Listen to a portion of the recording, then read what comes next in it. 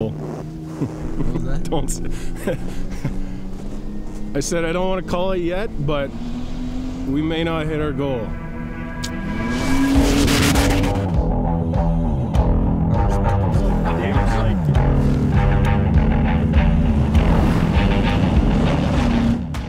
How's it going everyone? Welcome back to the Tacoma Beast channel where as you all know, it's all about the taco. Today I am fulfilling one of my dreams. I've been dying to come up here to Canada and hang out with Crave Automotive. We've been talking through Instagram messages, we've been on Zoom calls. We were about to do it and then the virus happened. We had to Yeah. cancel that and Yeah. finally we're here. How's it going Three years later, Awesome, exciting. Stoked, Very man. exciting. Where are you guys Yeah. gonna take me? we're taking you to Ruby Falls. It's up in northern Alberta, uh, Canada, obviously, and it's gonna be wild. It's gonna be deep snow, water crossings, ice. We're not really sure what we're gonna get, but we're ready for it. What's the goal for us? The goal is to get to the falls, and as- if we get there, we met we met our mission. That's that's it. Now you guys told me that you've you've been there before and sometimes you guys don't like the some trucks don't make it out. Yeah, we haven't made it. I mean, sometimes trucks get on flat decks on the way home. You know, breakages happen, flat tires, mechanical issues. It's uh, it's a battle. I'm, Yeah, uh, I from hope you guys so- have uh, all the tools necessary in case we go to that. You guys ready? Yeah, we do. We're ready. We're ready, man. We got the tools, we got the gear, we got the trucks.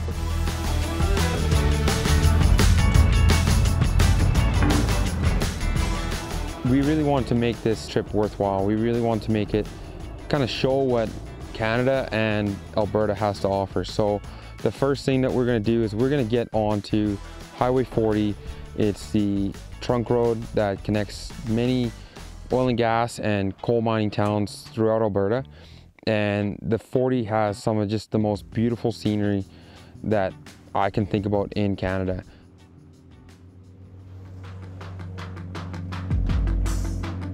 So the first area we'll be going through, we'll be going through the Ram Falls area, which is absolutely beautiful. Big cliff sides with just like black shale. And then we're gonna be going north up towards Nordegg, towards uh, the Ruby Falls trailhead uh, on the Cardinal River. My name is Bill. Uh, I'm 35 years old and I drive a 2008 Toyota Tacoma. I'm Ryan, age 37 as of this week, driving a 2006 Toyota Tacoma. My name is Matt and I'm 27 years old. I drive a third gen Toyota Tacoma. My name is Keith. I'm 29 years old. I was asked to come on the trip to kind of help out where I can in the support 4Runner with David White this weekend. So here we are.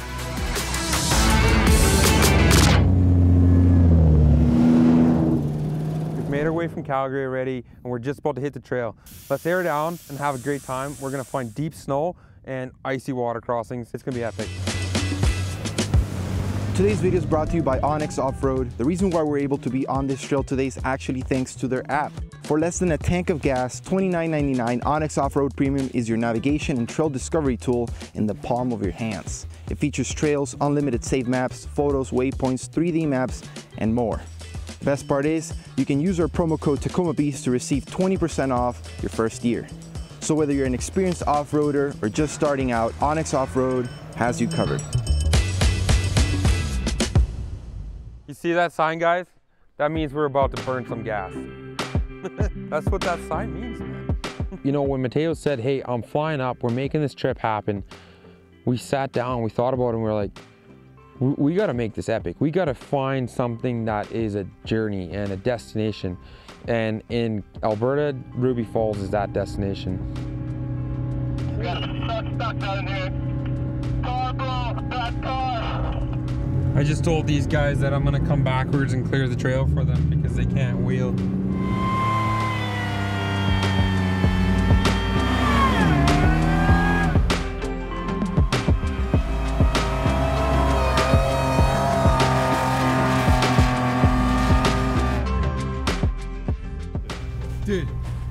Making fun of people getting stuck. What just happened? We just got stuck. So good. Game plan is we're gonna stick on the trail. We're gonna stick kind of in the middle of the trail where it's harder packed from from snowmobile tracks, and we're gonna just try to go nice and slow, nice and steady, and then try to get all your traction devices on. Let's do it. Let's go. Ready to roll?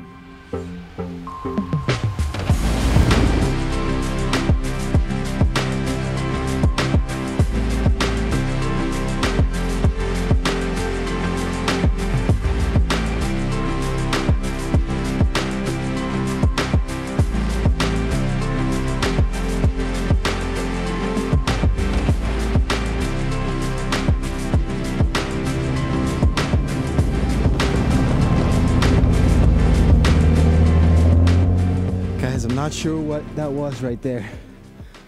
That was crazy. I was just running up the trail and I literally see this pack just running right next to me and I'm like, holy cow.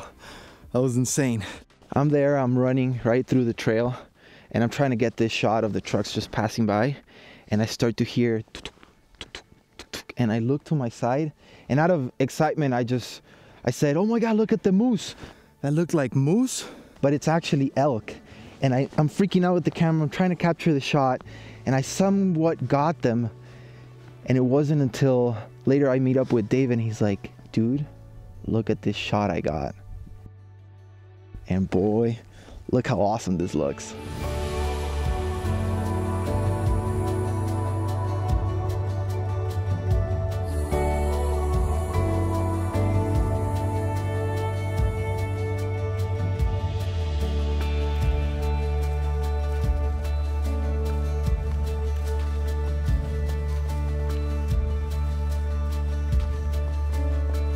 That was insane. Let's keep going.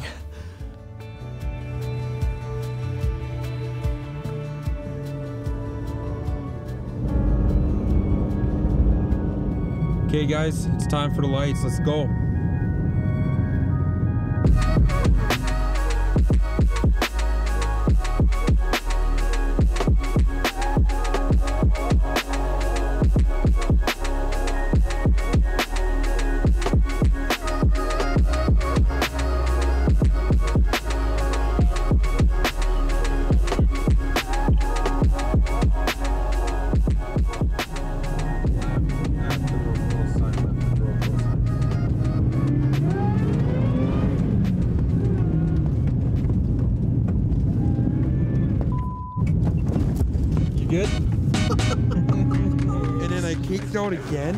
Then there's that berm on the right, and I just hit it, and I'm like, holy and the truck jumps, and Mateo's like, whoa! Dude, that's insane! Holy cow!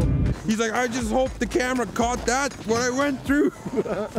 holy crap, it Yeah, awesome, that's man. gnarly. That's crazy.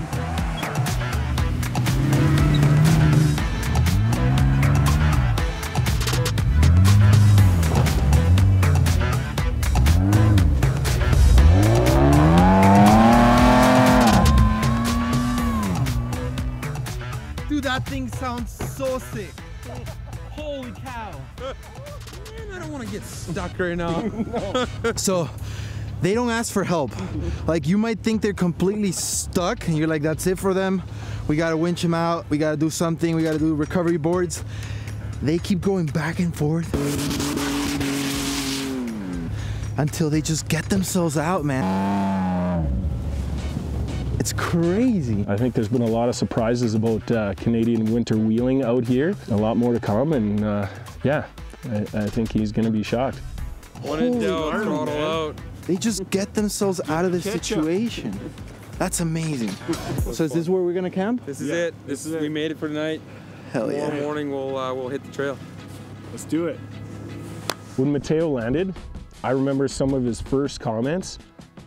Man, it's cold out here. And for for us, who's kind of used to this weather, you know, this is a, a beautiful spring weekend for us. Oh, when I saw him, he was uh, he was wearing just jeans and a very very light hoodie, and I was like, oh, this guy is in for a treat, man. How cold is it right now, guys? That's chill. Yeah, it's I good. think Cold. it's, I think it's only minus uh, seven. I land in Canada, and the second I step out to get the Uber, I immediately get my little cart and I just turn around because of how cold it was. We're good. This is Canada. Brian is just wearing like a hoodie. Yeah, we're good. I'm out here like freaking layered up. Yeah. And it's gonna be so cold. I hope he he survives. But in my mind, I was like, we gotta make sure that he's comfortable and he's having a good time.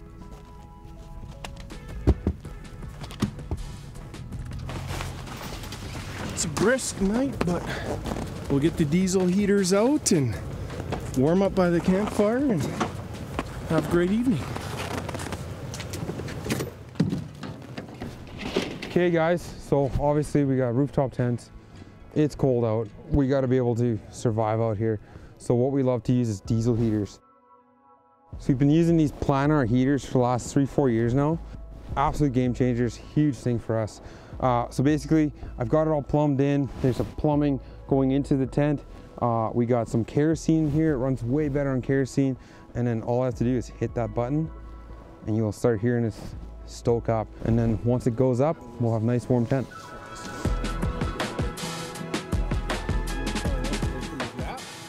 First night, uh, Vil had his vent like pointing right at him, and I walk in. I'm there trying not to wake him up. I didn't fully tuck myself into my sleeping bag all the way because I was confident. I'm like, dude, we have heaters, man. I, I could be on my underwear right now, chilling, you know. And uh, that night was a little bit chilly. Every time I would turn around, it was like, tss, ah, tss, ah, you know, cold here and there. And then uh, the second night, sleeping with Vil, he was awesome, man. He really took care of me. He made the vent point right at me to the point where, dude, for a second, I was, it got a little bit too warm. Those uh, heaters are something. I need to get that. that that's gonna be cheating out in Salt Lake.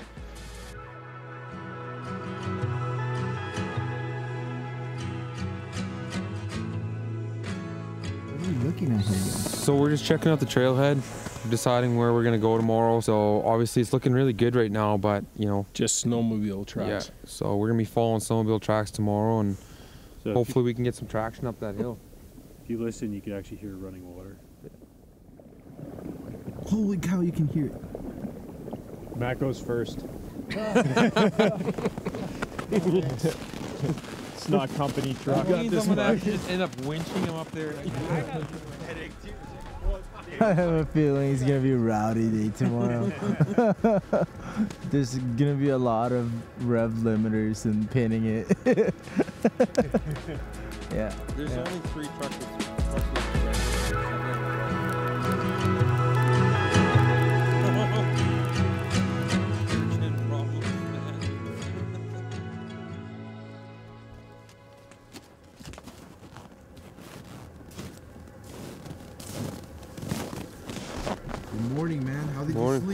You sleep? Oh, good. Yeah, good night. Warm night.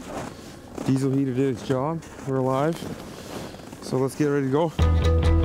Do it. This boy's got a fire going so we can get toasty, make some breakfast, and get rolling. Yeah. Do So, it. You guys ready for the trail? oh yeah, Heck yeah. Yeah. oh yeah. Getting mugs, cups. Not going fancy here today. Just uh, reorganizing for today's next leg of the adventure, making sure we don't get any uh, chunks of wood through the back window. So, looking forward to uh, hitting trails.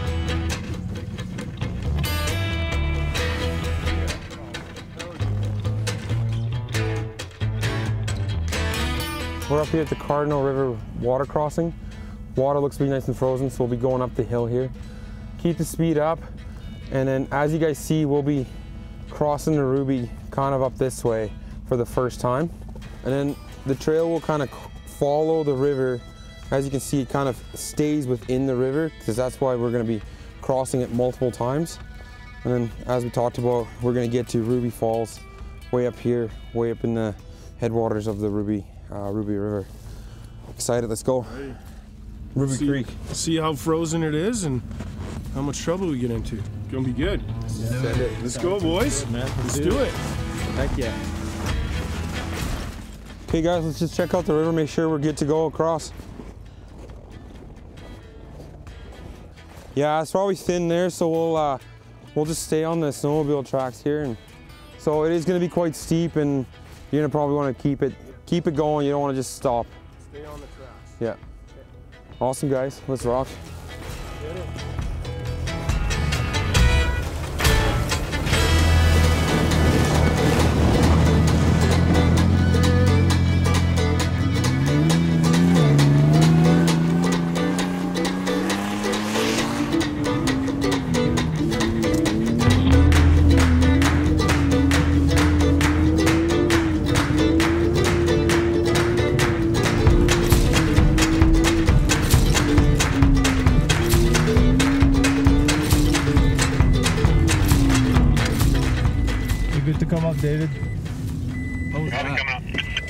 Woo, that was good. that was intense, so that's good.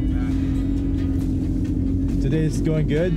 Good morning. It's nice and I, was, I wouldn't say it's too cold. It's nice and warm. Truck is feeling good. Everyone's having a good time. Yeah, so we're about 80% up the cut line here. We're just about to hit the river valley. Um, I'm feeling pretty good. Yeah, we got um, snowmobile tracks that we're kind of following. This, this, the trail's kind of set. I think it's cold enough that the water's going to be frozen. We're probably not going to dip our toes too many times. Uh, hopefully make it and have some fun here this morning later. So we're just about to hit the river here. If you look at the map, you'll see that we're coming out of the cut line. We've camped here before, and then we got that whole valley we got to cross. You'll see some skulls on there where we've had some breakdowns and didn't make it past in the recent years. So got a long ways to go, but we're feeling good about it.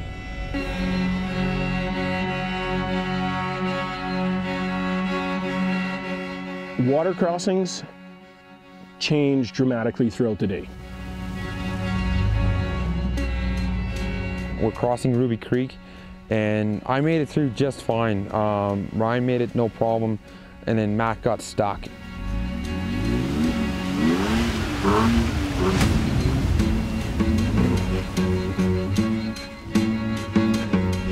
Ryan was enough to crush the ice. The water started seeping on top of the ice that they crossed, and the moment that happens, all of that hard packed ice on the top becomes soft. So I got a little concerned, and as soon as I saw that happen, I radioed Ryan, hang tight because this might break.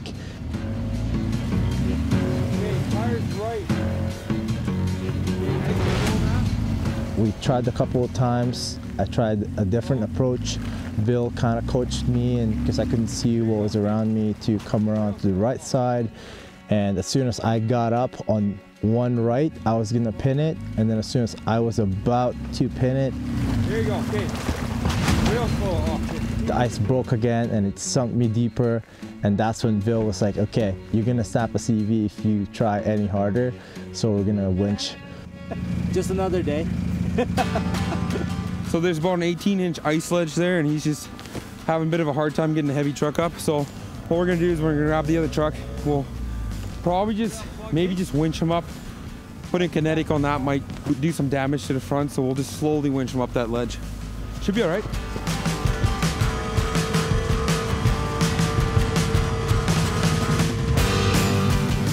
Trying to get him in quick so we don't have water in the cab.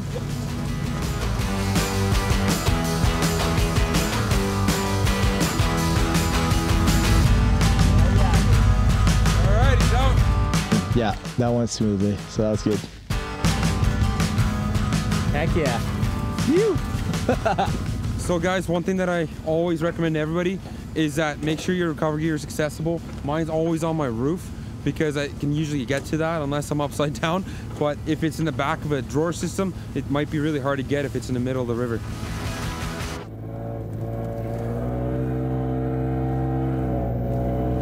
So we're just driving by feel right now. We kind of know where to go. I got a GPS track and we're following a snowmobile track and I know that that track's somewhat hard, so we're trying to stay on it. And there's also big rocks, so we're trying not to hit those. We're coming up on one of our first major water crossings right now. Uh, we'll see how it is. If it's bridge, we'll be in good shape. But uh, two years ago, I broke a CV, bent a rim, and uh, busted a bead in this crossing. So we'll see how she goes.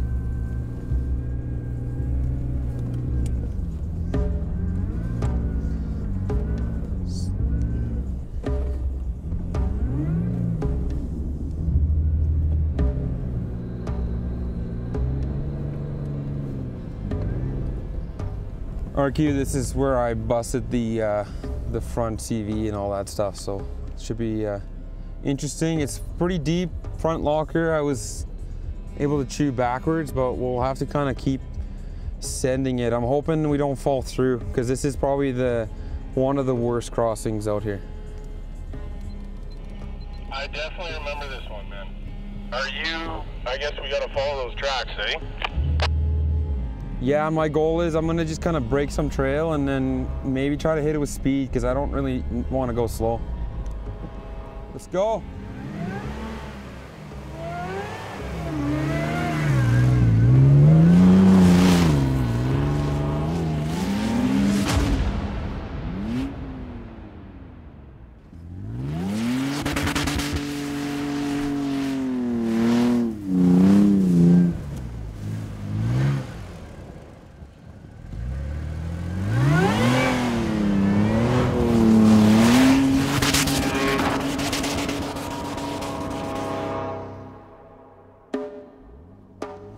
Out here in the trail, um, I slowly started hearing the Crave Automotive crew talking about the ketchup. Give it some ketchup, man. I don't think I've been on the ketchup that much.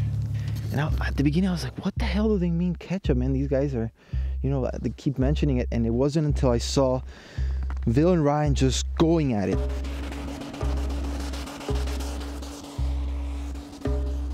Bill and Ryan showed me that there's a way out. There's always a way, and just gotta keep going at it, just hitting that rev limiter.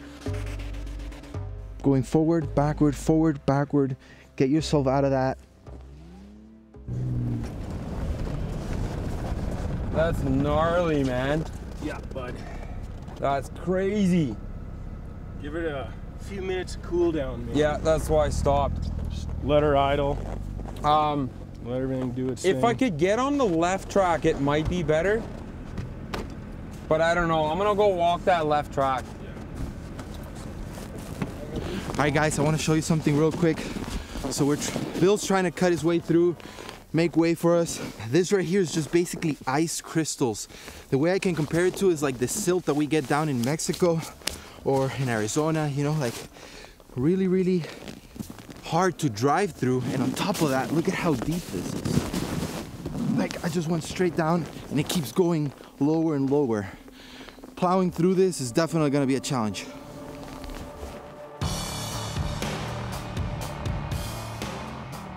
If I can get on top of the hard pack, I think we'll be okay. The other trick I have is I do have some chains. It's always good to have an extra little trick in the sleeve, right? So I got front locker, I got rear locker. Okay, well, what else you got? Okay, I got snow chains. you could put on your chains and I can kind of try and punch a bit.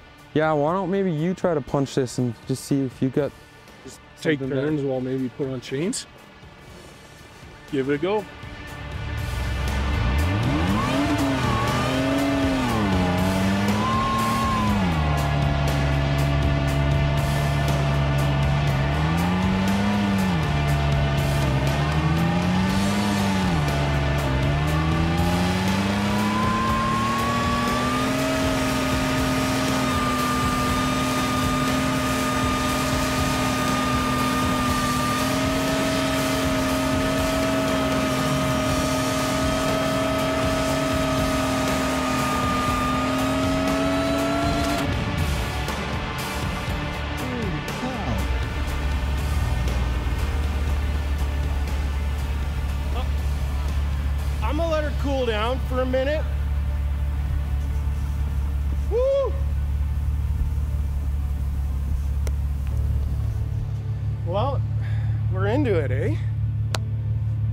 Crusty snow. It's kind of wild out here. I thought I was in for it, and then a few bumps back and forth, and managed to chew through it for a while. Get a little bit of momentum. yeah, it's awesome. We gave you some more hose clearance. What you guys working on? putting the chains on. Try to get a little bit extra traction on the back. Don't have anything for the front because it's just too too tight up front. So we'll hope hopefully the chains gets just an extra little bit to get the chew going and make it up that way. Let's go, boys. I'll move the truck forward.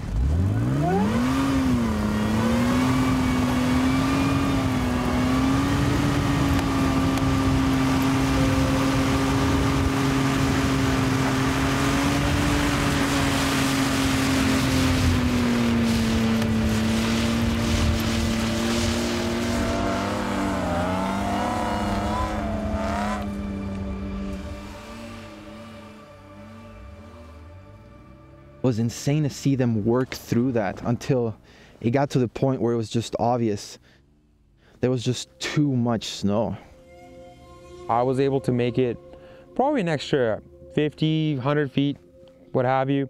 And, you know, the realization came that if I had to go that hard and, and just move that much snow, there wasn't any way that the guys coming behind me with 35s were gonna get there. So, I don't know what to do, boys. PSI, full send, as hard as I could send her, and yeah. My diff's so hot, it's melting a puddle in the snow. like, it's, it's gnarly. As much as we don't like giving up, you know, we got two trucks, one on 37s, one on 38s, and we're buried over the diffs. I think might be safest just to backtrack out of here and we'll go show you two other trails. We'll still hit a waterfall and it'll still be epic, but I don't think anybody's getting through here until the summer. Conditions were changing so fast that we made a, a safety decision to turn back. Ultimately, the fact that we didn't destroy anything major on the truck, um, that's a win for me. So many times we've been out on that trail and it, it beats trucks up. You know, we've flat deck trucks. We've had so many trailside repairs and to have that much enjoyment, that much excitement, that much adventure, and still be able to make it hundreds of kilometers, hundreds of miles, I should say, um, back down another trail, that's a win. Sucks that we can't keep going, but all the way up until this point, I've had an absolute blast. And this has made me want to keep coming back to Canada. It's unreal out here. All the experience that I had already seen up until the point that we got stuck, I could turn around that very second, go back home, and be absolutely excited about what I just went through. It was more than I was expecting. I was like, dude, this is insane. I was bummed out, but uh, I knew that there was way more to see in Canada to me, this is freedom. This is getting out, getting away, um, almost like church, if that makes any sense. Um, it's peace. It's it's a time to reset. I don't have my phone bugging me. I don't have distractions. I can just enjoy the moment, the experience, and uh, um, yeah, the quiet, everything, the people. Like I love it. This is like a getaway to me. I'm tired, but I also don't want it to end. Like I, I love spending time here in the mountains. No matter how tired I am, I would always prefer to be here. And spending time with such a good crew, everyone's just balances out everybody. The energy is always so high. It's just, it's hard to say, ah, it's time to go home. But like you get, there's people always waiting for you back home, so you have to eventually head home and go back to normal life again.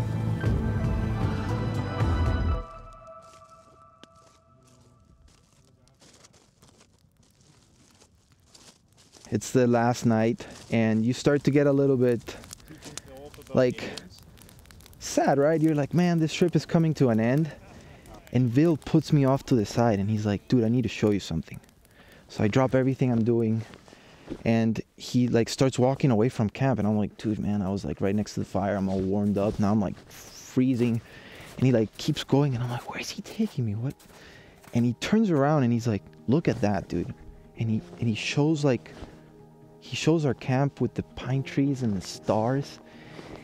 And that moment I just started thinking how this community, we're all so similar.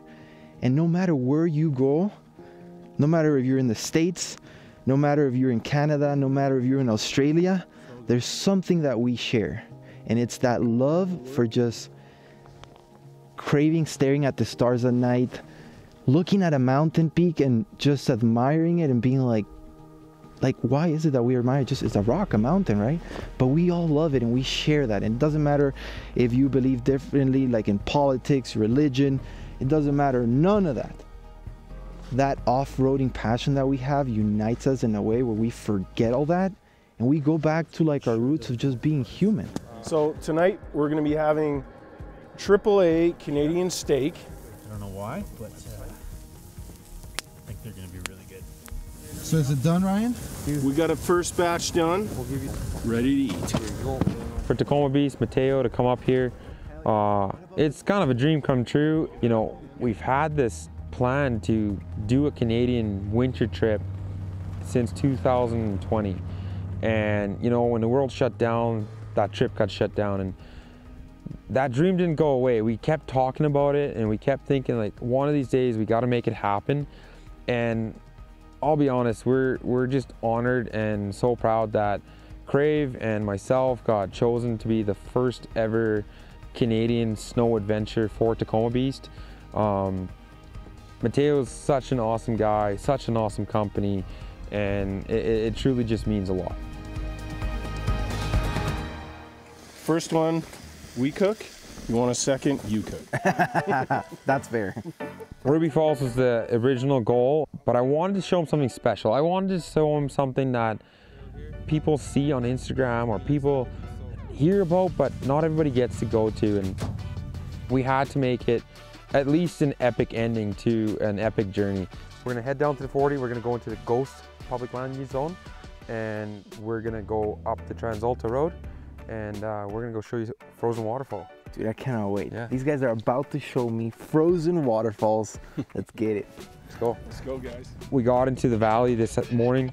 We were driving and it's like, okay, the conditions are good. And eventually we get through the first water crossing and then you come around that last corner, you go across that last water crossing and you just, in the corner of your eye, you see that falls and you're like, dude, dude, look, we're, we're there.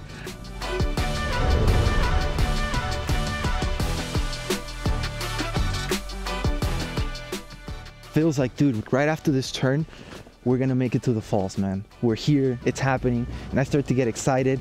I'm a little bit concerned because since we didn't make it to the true falls that we wanted to do it, I thought that they were just gonna bring me to this like little tiny little fall just so that, you know, like, yeah, we made it to the falls. And dude, when I see this falls, this thing is massive. It's like a, a wall of art, you know, that just, I'm like, how the hell did that freeze like that, you know? Massive wall. And I'm just so thankful that the guys brought me out here. This thing is, this is amazing.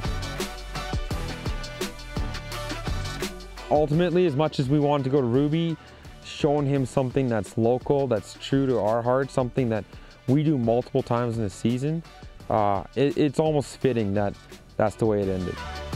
We officially made it to GBU Falls at Ghost Valley. Dude, this place is insane, epic, just staring at all these mountains. And it was all thanks to the Crave Automotive team. Dude, you guys, thank you so much for real for giving me this experience these last couple days. Yeah, man. Like we had a we had a lot of trial and error. We tried to go to Ruby Falls first.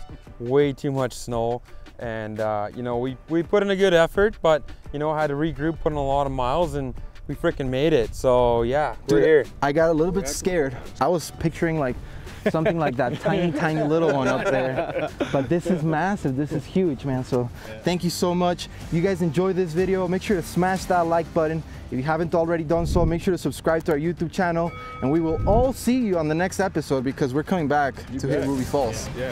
Hell yeah.